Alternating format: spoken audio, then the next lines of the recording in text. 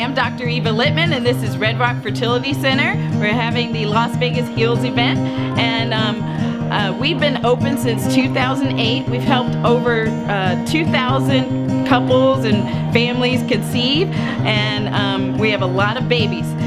So we do IVF, IUI, all the fertility services you could want, and um, we specialize in getting people knocked up. So uh, we are very happy into our new building, which is the probably the largest center in the West Coast, and uh, we're very happy to be here.